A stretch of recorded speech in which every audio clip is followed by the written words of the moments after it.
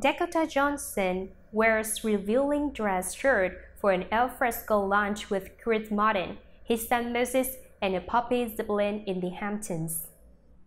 Like many celebrities catching the last rays of summer, Chris Martin and girlfriend Dakota Johnson have escaped the Hamptons. Chris, 43, and Dakota, 30, was spotted with his son, Moses, 14, and the puppy, Zeppelin as they enjoy lunch out together in Amagansett, in the town of East Hampton, on the south shore of Long Island.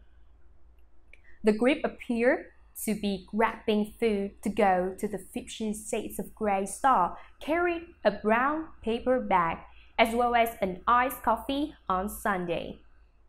Dakota showed off her tan and toned legs while stepping out as she dressed in a simple oversized white shirt and a pair of sneakers.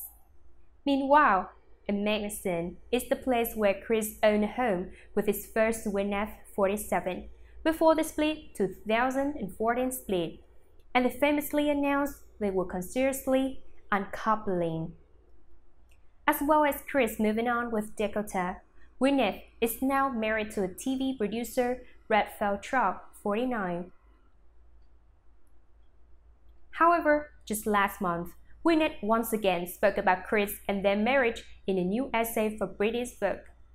Gwyneth, who shares daughter Apple 16 and Moses with Chris, said, We didn't quite fit together, but man, did we love our children?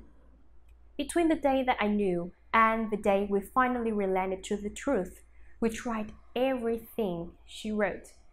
We did not want to fail we didn't want to let anyone down.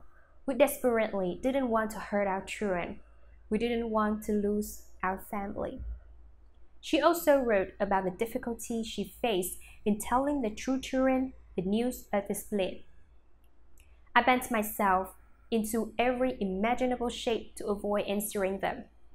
But one day, despite all of our efforts, I found that I was not a fork at the road. I was well down a path. Almost without realizing it, we had diverged. We would never find ourselves together in that way again, she added. In 2018, Gwyneth married new husband Brad at a lavish Hamptons wedding that was not attended by Chris. The star-studded affair included Robert Downey Jr. giving a speech, director Steven Spielberg attending with his own video camera, and Rob Lowe showing off his moves on the dance floor, according to reports at the time.